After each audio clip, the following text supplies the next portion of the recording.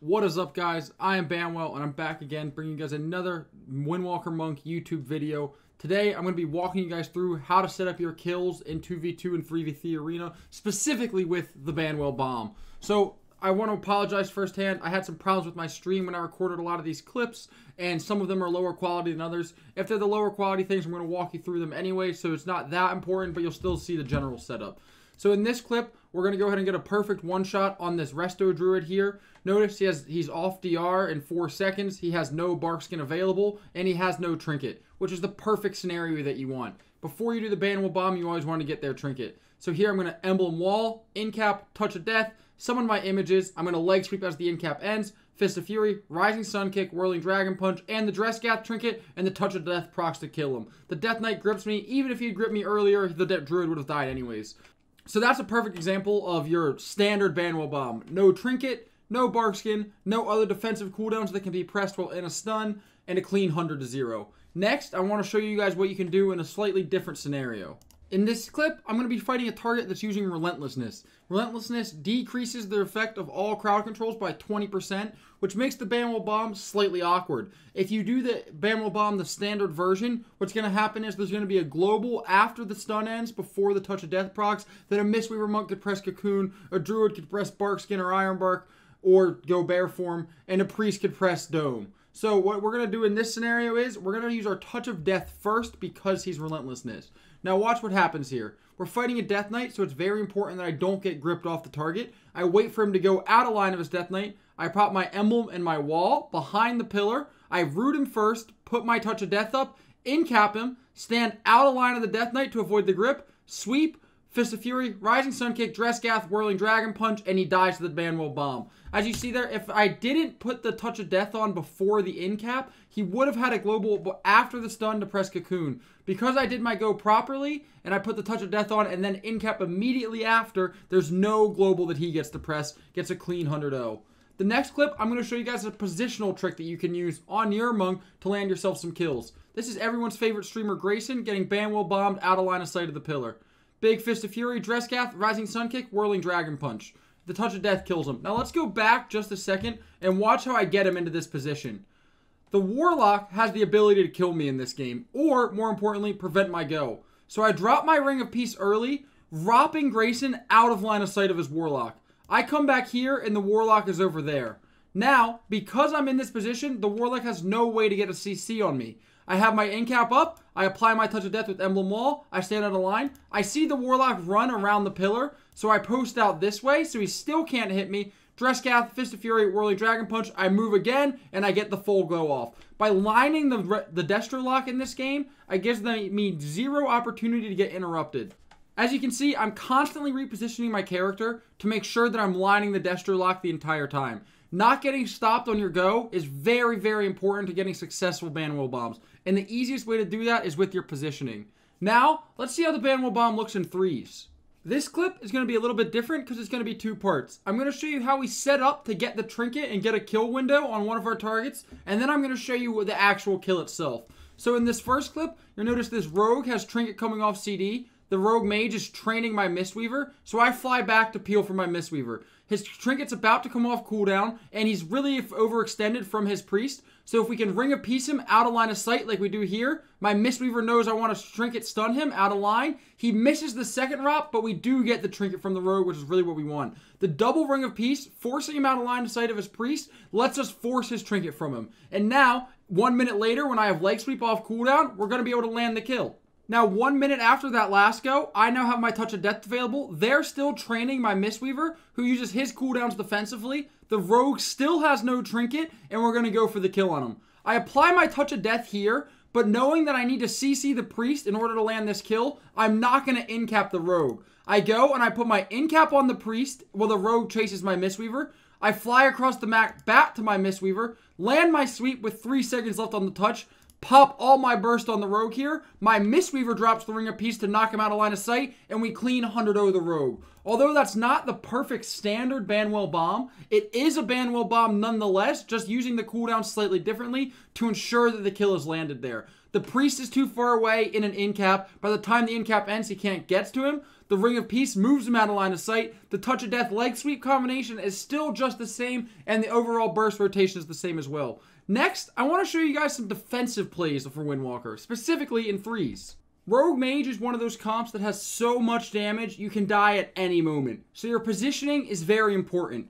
Fighting Rogue Mage, especially with a Priest, you have to be very wary of every kidney shot. In this first kidney shot, they pop Dark Art Combustion on me, as well as the Bike Trinket, and I lose a lot of health very quickly. This results in the AMZ, my Emblem, and my Karma. Notice I'm only using my emblem here and saving Fortifying Brew for another defensive. They knock me out of the AMZ, they break through my Karma, so I Flying Serpent Kick port, and my emblem gives me just enough health to stay alive in this go. My Mistweaver tops me off and is able to save Cocoon. Now, they don't have a go for a few seconds, and I'm able to push back out. I disarm the Rogue so he can't get a kidney shot on me, and stay out of line of sight of the Mage to do my damage. I wrap this Rogue backwards, leg sweep him, and pop my burst here to get some offensive pressure.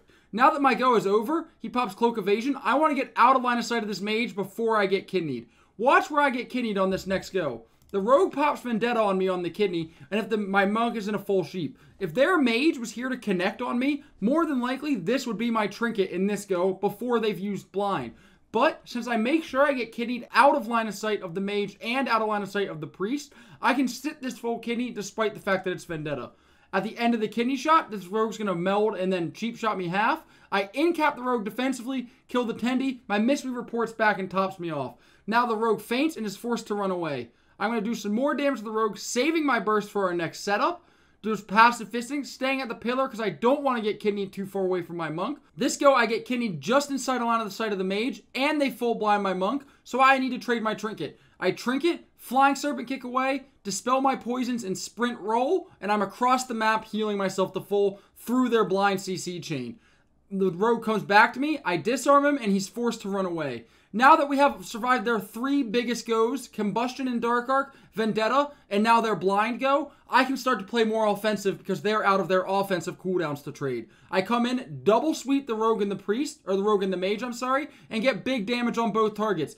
We get an in-cap sweep from our Mistweaver on the Disc Priest, who Trinket and fears the Mistweaver. They start to swap to my DK, knowing that I still have cooldowns back, such as Karma, and I have Wall Emblem as well back now, and I'm still pumping the Rogue. I want to set up a Banwell Bomb on the Rogue on my next leg sweep, but I have to wait for my sweep to come off cooldown in 30 seconds. They drop a barrier. I drop my ROP to keep our team offensive. By dropping this ROP on the barrier, we're going to force Pain Suppression on the Rogue and Rapture out of the Priest, only because we use the ROP offensively. That's another example of how you can use ROP offensively to create more pressure for your team. Pain suppression's now over. The priest has no cooldowns. They combust on my Death Knight, who trades out his Icebound Fortitude. We've got Cocoon and AMZ in line with combustion and keep our pressure high. Now the Rogue has almost no cooldowns left. The Priest has no cooldowns left, and the Mage only has Ice Block remaining. So I start to get pressure on the Rogue. It looks like he's going to walk himself out of line of sight, and I'm going to be able to get my Banwell Bomb off, but I get kidneyed here behind the pillar, out of line of the Mage. The Rogue pops his cooldown. I roll back to my Mistweaver. Pop my emblem wall defensively. Priest pushes in, the rogue runs away, and I see that I have an opportunity to kill the priest 100 to 0 here. I set up my Banwell Bomb, some of my images, leg sweep the end of the incap, Fist of Fury, Rising Sun Kick, Dress Gath, Whirling Dragon Punch, and the priest dies 100 to 0. He wasn't quite at 100% health here, but it sounds a little bit better to say he was. There's an example of how defensive play, when you need to play defensive, paired with offensive play, when it's my time to do damage, is a secure way to land kills and victories in 3v3 Arena. This clip is a nice little 1v2 we pulled off against my friend Voyu in, on stream the other day, and I want to show you guys some of the highlights of it that make this 1v2 possible. First off, the clip starts with me pre-karmaing this kidney shot, which otherwise I would end up dying in. So he cloaks the karma to go offensive, but it doesn't matter because it's just going to keep me alive long enough to live.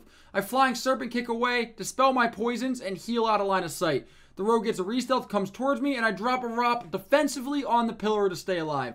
All I'm trying to do here is live until I have my Banwell Bomb, which is available in 5 seconds for my Dress Cat Trinket. I get around the pillar, the rogue steps to me, I kite back, Emblem Wall, and get Trinket on this stun, Incap, Touch of Death, some of my images. I try to get the double sweep here, but don't hit it. Fist of Fury, Rising Sun Kick, dress Dressgath, Whirly Dragon Punch, Reverse Harm, and the Touch of Death procs to kill the rogue. I got back out of line of sight and healed myself back to 80% health while simultaneously getting some damage done on the priest. Now I have to make one really offensive, great play here to end the game. The priest has fear coming off CD in 10 seconds. Every priest always wants to fear your Fist of Fury to stop the damage. I'm fully aware of that, so I wait and hold my Fist of Fury till there's 3 seconds left. I fist, and as the fear comes off cooldown, I port pre-porting the Psychic Scream, allowing me to keep 100% uptime on this guy and make sure he can't just spam out those Shadow Mends to top himself off. We miss our kick, we land the leg sweep pass the touch of death procs, and we kill the priest. And that's a very clean 1v2, and it's simple to land as long as you know how to do your touch of death and make a couple outplays using your port, your kick, your incap, and your ring of peace. Well, guys, that is all I have for you guys today. I hope this video is helpful for you guys setting up your own Banwell bombs and landing those clean 100 in arena, as well as helping you guys improve your 3v3 gameplay. Drop a comment in below if you have any questions, and let me know what type of videos you guys want to see next. Do you want more 3v3 gameplay? Do you want a one-shot montage? Do you want clips of more 1v2s? And just let me know what you guys want. Make sure you like and subscribe, and make sure you follow the Twitch, twitch.tv slash and I'll see you guys next time.